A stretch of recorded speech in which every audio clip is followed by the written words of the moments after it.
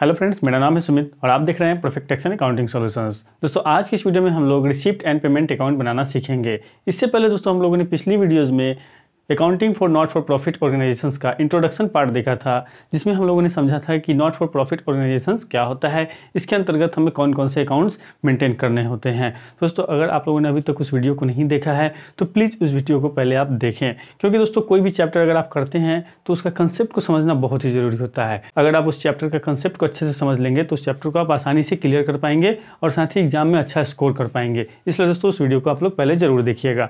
आइए दोस्तों, सबसे पहले जान लें कि आखिर रिसीप्ट एंड पेमेंट अकाउंट होता क्या है? दोस्तों, यहाँ पे कहता है कि a receipt and payment account is a summary receipt और पेमेंट अकाउंट क्या है दोस्तों? एक समरी है, ठीक है? आगे कह रहा है of cash and bank transaction relating to a given period. किस चीज़ का समरी है दोस्तों? तो कैश और बैंक ट्रांजेक्शन्स का समरी है। यानी दोस्तों, आपके ऑर्गेनाइजेशंस में एक पार्टिकुलर पीरियड में कितना रिसीव हुआ, कितना पेमेंट हुआ, उसका समरी होता है receipt and payment account. Clear है? अब दोस्तों, रिसिप्ट एंड पेमेंट अकाउंट के कुछ इंपॉर्टेंट पॉइंट्स है जो हमें जानने ज़रूरी होंगे रिसिप्ट एंड पेमेंट बनाने से पहले। ठीक है? तो दोस्तों, सबसे पहला है हमारा रियल अकाउंट। जो रिसिप्ट और पेमेंट अकाउंट है, वो क्या है दोस्तों? रियल अकाउंट है। ठीक है, जैसा कि हम लोग जानते हैं रियल अकाउंट का क्या रूल है? डेबिट व्हाट कम्स इन यानी कि आने वाली वस्तु को आप क्या करते हैं? डेबिट करते हैं and credit what goes out यानी जाने वाली वस्तु को आप क्रेडिट कर देते हैं। उसी तरह दोस्तों रिसिप्ट एंड पेमेंट अकाउंट में जितना भी पैसा आपके ऑर्गेनाइजेशन में आएगा उसे आप डेबिट कर देंगे यानी कि डेबिट साइड में लिख देंगे। और जितना भी पैसा आपके ऑर्गेनाइजेशन से आ, आपके इंस्टीट्यूशन से जाएगा उन सारे पैसे को आप क्या करेंगे दोस्तों? क्रेडिट कर देंगे क्रेडिट साइड में लिख देंगे। क्लियर है? ये बहुत ही इंपॉर्टेंट पॉइंट है ध्यान में रखिएगा दोस्तों। मैं आपको जितना भी पॉइंट बताने वाला हूँ ये बहुत ही इंपॉर्टेंट है एग्ज़ाम पॉइंट ऑफ़ व्यू से और साथ ही इन पॉइंट्स से आपके ऑब्जेक्टिव क्वेश्चन भी बनेंगे है ना? तो नेक्स्ट पॉइंट है दोस्तों। Summary of cash and bank transaction ये तो हम लोगों ने पहले ही डिस्कस कर लिया कि जो रिसिप्ट एंड पेमेंट अकाउंट है, वो क्या है दोस्तों? तो बैंक और कैश ट्रांजेक्शन्स का समरी है। क्लियर है? चलिए, आगे दोस्तों कह रहा है कैपिटल एंड रेवेन्यू दोस्तों, जब आप रिसिप्ट एंड पेमेंट बनाते हैं तो इससे कोई फ़र्क नहीं पड़ता है कि आप जो अमाउंट रिसीव कर रहे हैं, वो कैपिटल अमाउंट है कैपिटल का अमाउंट है, या फिर रेवेन्यू का अमाउंट है, या फिर आप जो अमाउंट पेमेंट कर रहे हैं, वो कैपिटल एक्सपेंडिचर का पेमेंट कर रहे हैं, या फिर रेवेन्यू एक्सपेंडिचर का कर रहे हैं। इससे कोई फ़र्क नहीं पड़ता है। बिज़नेस में कोई भी कैश या बैंक में रिसीव होगा, या कैश या बैंक से पेमेंट होगा, उन सारे ट्रांजेक्शन्स को आपको रिकॉर्ड कर लेना है, ठीक है? है ना? इससे कोई फ़र्क नहीं पड़ता है कि वो कैपिटल एक्सपेंडिचर है या रेवेन्यू एक्सपेंडिचर है कैपिटल रिसिप्ट है या फिर रेवेन्यू रिसिप्ट है। क्लियर है दोस्तों? नेक्स्ट है दोस्तों records only actual receipt and payment बहुत ही इंपॉर्टेंट पॉइंट है दोस्तों। इसे आप बहुत अच्छे से और ध्यान से समझिएगा। अक्सर स्टूडेंट इस पॉइंट को लेकर के कंफ्यूज हो जाते हैं। ठीक है? इसलिए इसे समझना बहुत ही ज़रूरी है। दोस्तों, यहाँ पे कह रहा है कि records only actual receipt and payment आपको सिर्फ़ और सिर्फ़ एक्चुअल रिसिप्ट और एक्चुअल पेमेंट को रिकॉर्ड करना है। मतलब अगर आपके ऑर्गेनाइजेशन में एक्चुअल में कैश रिसीव हो गया है, ठीक है, तब आप उसे रिसिप्ट एंड पेमेंट अकाउंट के डेबिट साइड में लिख देंगे। और अगर आपने एक्चुअल में पेमेंट कर दिया एक्चुअल में आपके यहाँ से कैश निकल गया ठीक है? तब आप उसे रिसिप्ट एंड पेमेंट अकाउंट की क्रेडिट साइड में लिख देंगे। उसी तरह दोस्तों, अगर एक्चुअल में आपके बैंक अकाउंट में पैसा आ गया है, तब आप उसे रिसिप्ट पेमेंट अकाउंट के डेबिट साइड में, यानी कि रिसिप्ट साइड में एंट्री करेंगे। और एक्चुअल में आपके बैंक अकाउंट से पैसा कट गया है, तब आप उसे रिसिप्ट एंड पेमेंट अकाउंट के क्रेडिट साइड यानी कि पेमेंट साइड में एंट्री करेंगे। दोस्तों, आइए इसे एक एग्ज़ाम्पल की मदद से समझते हैं। मान लेते हैं दोस्तों कि आप जो अकाउंटिंग कर रहे हैं, वो 2019 2020 का कर रहे हैं, ठीक है? फाइनेंशियल ईयर 2019-2020 के लिए आप रिसिप्ट एंड पेमेंट अकाउंट बना रहे हैं, ठीक है? तो इससे पहले का जो फाइनेंशियल ईयर होगा, वो क्या होगा दोस्तों? 2018 से 2019 होगा, यही होगा, ठीक है? और इसके बाद का जो फाइनेंशियल ईयर वो क्या होगा दोस्तों? तो 2020 से लेकर के 2021 तक का होगा, ठीक है? यही फाइनेंशियल ईयर होंगे। और आप जो अकाउंटिंग कर रहे हैं, वो किस ईयर के लिए कर रहे हैं? इस ईयर के लिए कर रहे हैं। क्लियर है? चलिए, अब दोस्तों मान लेते हैं यहाँ पे मान लेते हैं कि मार्च 2019 मार्च 2019 का सैलरी किसी कारण से मार्च 2019 में पेमेंट नहीं किया जा सका। ठीक है? यानी कि इस फाइनेंशियल ईयर में किसी कारण से इस अमाउंट का सैलरी, इस मंथ का सैलरी पेमेंट नहीं कर, किया जा सका। ठीक है? इसका सैलरी दोस्तों अप्रैल 2019 में पेमेंट किया गया। अप्रैल 2019 में, यानी कि इस फाइनेंशियल ईयर में पेमेंट किया गया। ठीक है? तो ये सैलरी का जो अमाउंट है इस अमाउंट को आप किस फाइनेंशियल ईयर में रिकॉर्ड करेंगे? किस फाइनेंशियल ईयर को रिसिप्ट एंड पेमेंट अकाउंट में दिखाएँगे? क्या इसमें दिखाएँगे या इसमें दिखाएँगे? यही चीज़ यहाँ पे समझाने की कोशिश की गई है दोस्तों। ठीक है? एक्चुअली में दोस्तों, इस मंथ का सैलरी मार्च 19 का सैलरी आप पेमेंट कब कर रहे हैं? अप्रैल 2019 में। एक्चुअली में आप कब पेमेंट कर रहे हैं? अप्रैल 2019 में। यानी कि इस अमाउंट को आप 2019-20 के रिसिप्ट एंड पेमेंट अकाउंट में रिकॉर्ड करेंगे। क्लियर है? ना कि इसमें। किसमें रिकॉर्ड करेंगे? इसमें रिकॉर्ड करेंगे बिकॉज़ आपने एक्चुअली में कब पेमेंट किया है? एक्चुअली में आपने अप्रैल 2019 यानी कि 19-20 में पेमेंट किया है। क्लियर उसी तरह मान लेते हैं दोस्तों कि मार्च 2020 का सैलरी आप किसी कारण से अपने इंप्लॉइज को पेमेंट नहीं कर पाए। ठीक है? और इस मंथ का सैलरी आपने पेमेंट कब किया? अप्रैल 2020 में। ठीक है? मार्च 2020 का सैलरी आप किसी भी कारण से नहीं पेमेंट कर पाए, आप उसका पेमेंट कब कर रहे हैं? अप्रैल 2020 में। ठीक है? तो दोस्तों, अब आप हमको ये बताइए कि मार्च महीने का जो सैलरी का अमाउंट है, वो आप किस ईयर के रिसिप्ट एंड पेमेंट अकाउंट में दिखाएँगे? अब दोस्तों, यहाँ पे समझिए। एक्चुअली में क्या मार्च 2020 में सैलरी का पेमेंट किया गया? एक्चुअली में आपके बिज़नेस से सैलरी का अमाउंट जो है, अगर आप कैश में पेमेंट कर रहे हैं तो आपके बिज़नेस से कैश घटेगा। अगर चेक से पेमेंट कर रहे हैं तो बैंक बैंक घटेगा, है ना? तो क्या एक्चुअली में वो सैलरी का अमाउंट मार्च 2020 में घटा? नहीं घटा, दोस्तों। एक्चुअली में इस सैलरी का अमाउंट आप कब कर रहे हैं पेमेंट अप्रैल 2020 में, यानी कि इस फाइनेंशियल ईयर में कर रहे हैं। तो मार्च महीने का जो सैलरी का अमाउंट होगा, उसे आप 2019-20 के रिसिप्ट एंड पेमेंट अकाउंट में ऐड नहीं करेंगे। समझ में आई बात? यानी कि दोस्तों, कहने का मतलब सिर्फ़ इतना ही है कि outstanding expenses prepaid expenses accrued income इस सबसे इसमें कोई लेना देना नहीं है। अगर आप एक्चुअल में रिसीव कर रहे हैं तो उसे आप दिखाइए। एक्चुअल में अगर आप रिसीव नहीं कर रहे हैं तो उसे आप मत दिखाइए। क्लियर दोस्तों? समझ में आई बात? दोस्तों, इसमें आगे कर रहा है कि non cash items such as depreciation outstanding expense etc ignore है ना? ये तो दोस्तों आप लोग समझ ही गए हैं कि जो नन कैश ट्रांजेक्शन्स होंगे, उसे आपको रिसिप्ट एंड पेमेंट अकाउंट में नहीं दिखाना है, ठीक है? उससे रिलेटेड अमाउंट्स को आपको रिसिप्ट एंड पेमेंट अकाउंट में नहीं दिखाना है, ठीक है? जैसे यहाँ पे दिया गया है डेप्रिसिएशन, आउटस्टैंडिंग एक्सपेंस, ठीक है? डेप्रिसिएशन दोस्तों, नन कैश ट्रांजेक्शन है। जब आप प्रॉफिट एंड लॉस बनाते थे तो उसमें डेप्रिसिएशन आप एक्सपेंस के साइड में दिखाते थे, लेकिन रिसिप्ट एंड पेमेंट बनाएँगे तो उसमें वो डेप्रिसिएशन आप नहीं दिखा सकते हैं, क्योंकि रिसिप्ट एंड पेमेंट अकाउंट में सिर्फ़ और सिर्फ़ कैश और बैंक ट्रांजेक्शन को ही दिखाया जाता है। क्लियर है दोस्तों?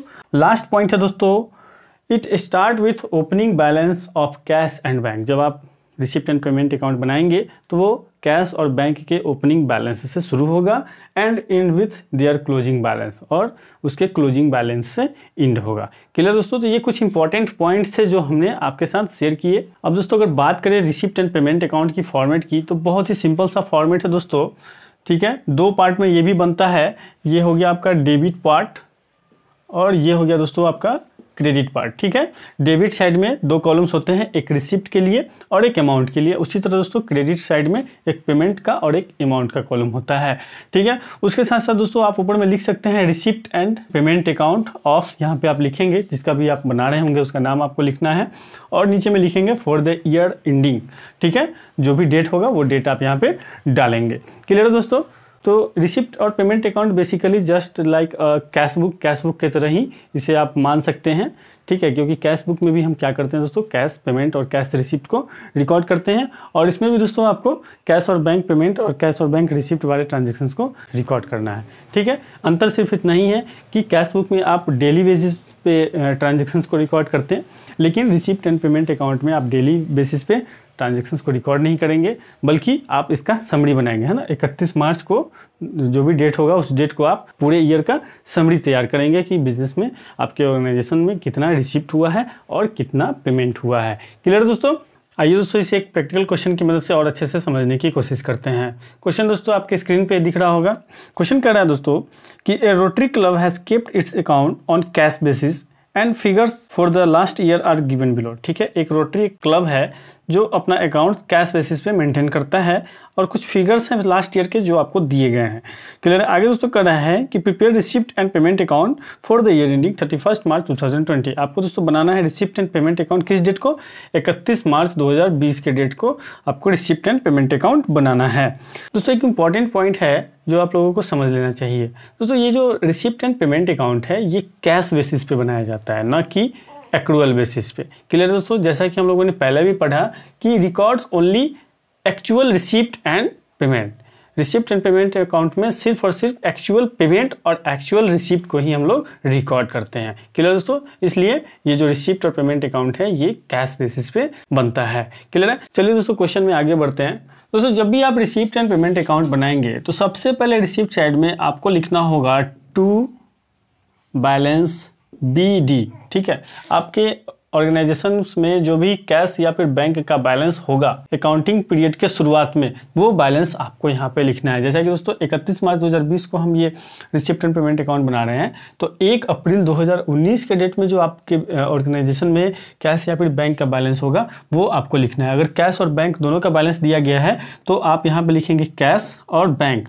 ठीक है, और उसके सामने आप अमाउंट लिखेंगे। लेकिन अगर कोई एक अमाउंट ही दिया गया है तो आपको ये अलग से लिखने की ज़रूरत नहीं है, आप डायरेक्ट यहाँ पे लिख देंगे, ठीक है? तो क्वेश्चन भी जब आप सॉल्व करेंगे तो उसमें सबसे पहले आपको ढूंढना है कैश या फिर बैंक का बैलेंस दोस्तों क्वेश्चन में आप देख सकते हैं कि इसमें कैश का बैलेंस दोस्तों कितना दिया गया है? चार हज़ार सात सौ, ठीक है? तो ये चार हज़ार सात सौ हम रिसिप्ट साइड में लिख देंगे।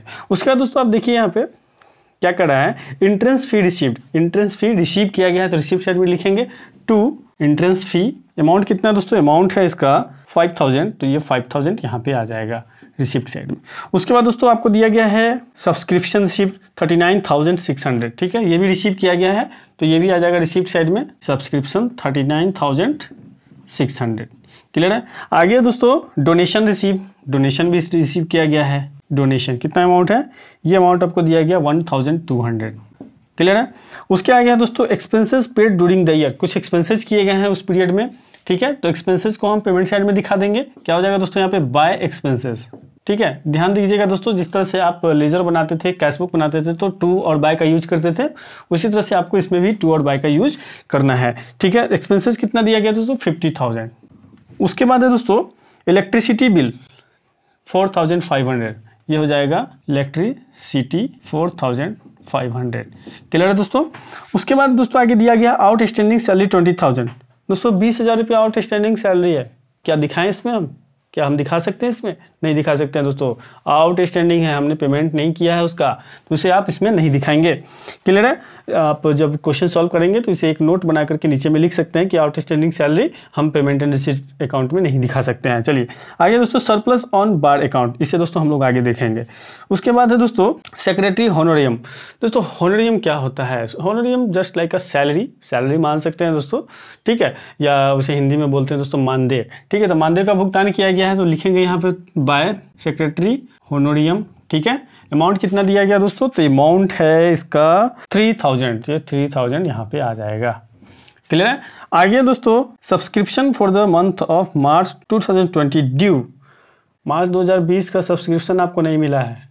ठीक है, बारह हज़ार रुपये सब्सक्रिप्शन था, मार्च 2020 को आपको नहीं मिला तो क्या इसको रिकॉर्ड करेंगे? नहीं करेंगे बिकॉज़ एक्चुअल में रिसीव नहीं हुआ है तो उसे रिकॉर्ड नहीं करेंगे, ठीक है? इसको भी आप नोट लिख करके नीचे में लिख सकते हैं। चलिए दोस्तों, आगे कहा गया है कैश इन हैंड ये तो हम लोगों ने देख लिया। उसके बाद है दोस्तों locker rent receive one thousand receive किया गया है रेंट लॉकर रेंट कितना? वन थाउज़ेंड क्लियर है? उसके बाद नेक्स्ट है दोस्तों investment made during the year कुछ इन्वेस्टमेंट किया गया है दोस्तों ड्यूरिंग द पीरियड तो इन्वेस्टमेंट करने के लिए क्या करेंगे दोस्तों, हम लोग पेमेंट करेंगे। तो पेमेंट साइड में हम लिख देंगे बाय इन्वेस्टमेंट किसी भी तरह का पेमेंट हो दोस्तों, आप उसे पेमेंट साइड में दिखाएँगे। क्लियर है? इन्वेस्टमेंट का अमाउंट है आपका टू थाउज़ेंड टू हंड्रेड ठीक है? सारे डिटेल्स को हम लोगों ने कवर कर लिया। सिर्फ़ एक चीज़ बचा है, वो है सरप्लस ऑन बार अकाउंट दोस्तों सरप्लस ऑन बार अकाउंट दिया गया है पंद्रह हज़ार रुपया। तो इसे दोस्तों हम लोग दिखाएँगे रिसिप्ट साइड में। Surplus on bar. कितना है? फिफ्टीन थाउज़ेंड क्यों दिखाएँगे दोस्तों रिसिप्ट साइड में? मान लेते हैं दोस्तों कि एक लाख रुपया आपको बार अकाउंट के लिए मिला है, ठीक है? और इसमें आपने पचासी हज़ार रुपया कहीं खर्च किया तो आपके पास पंद्रह हज़ार रुपया बचा हुआ है, ये सरप्लस है तो सरप्लस दोस्तों किस साइड में दिखेगा? रिसिप्ट साइड में ही दिखेगा। क्लियर है? चलिए, इसे मिटा देते हैं। अब दोस्तों इतना करने के बाद आपको क्या करना है? इसका क्लोजिंग करना है बैलेंसिंग करना है, जैसा कि हम लोग लेजर का कैशबुक का करते थे, ठीक है? तो क्या करेंगे दोस्तों? दोनों साइड में ऐड लगाएँगे। ठीक है, दोनों साइड के अमाउंट को ऐड करेंगे। ठीक है डेबिट साइड के अमाउंट को अगर हम ऐड करें तो दोस्तों यहाँ पे आ जाएगा sixty six thousand five hundred ठीक है दोस्तों, और क्रेडिट साइड के अमाउंट को अगर हम टोटल करेंगे तो यहाँ पे आएगा fifty nine thousand seven hundred ठीक है तो क्या fifty nine thousand seven hundred हम यहाँ लिखेंगे? नहीं लिखेंगे दोस्तों, यहाँ पे हम लिखेंगे sixty six thousand five hundred ठीक है, और देखेंगे कि कितना का डिफरेंस आ रहा है। डिफरेंस आपको निकाल करके यहाँ पे लिखना है और बैलेंसिंग करना है। तो डिफरेंस जब आप निकालेंगे तो आ जाएगा दोस्तों सिक्स थाउज़ेंड एट हंड्रेड ठीक है, ये डिफरेंस होगा, ठीक है? और ये जो डिफरेंस है, यही आपका कैश का बैलेंस है। By balance carry down clear है दोस्तों? यही आपका कैश का बैलेंस है, जो कि डेबिट बैलेंस है। ठीक है? इसे जब आप एज ओपनिंग लेंगे तो यहाँ पे लेंगे इस तरह से टू बैलेंस बी डी कितना अमाउंट हो जाएगा? Six thousand eight hundred clear दोस्तों? यानी कि रिसिप्ट और पेमेंट अकाउंट का बैलेंस हमेशा क्या होगा? डेबिट होगा। कुछ ना कुछ बैलेंस आपके पास पड़ा रहेगा। सिर्फ़ और सिर्फ़ बैंक की केस में अगर ओवरड्राफ्ट हो जाता है, तब क्रेडिट बैलेंस हो सकता है। क्लियर दोस्तों? तो इस तरह से आप आसानी से रिसिप्ट एंड पेमेंट अकाउंट बनाएँगे। कुछ नहीं करना दोस्तों। जितने भी रिसिप्ट हैं, उनको रिसिप्ट साइड में लिख दीजिए।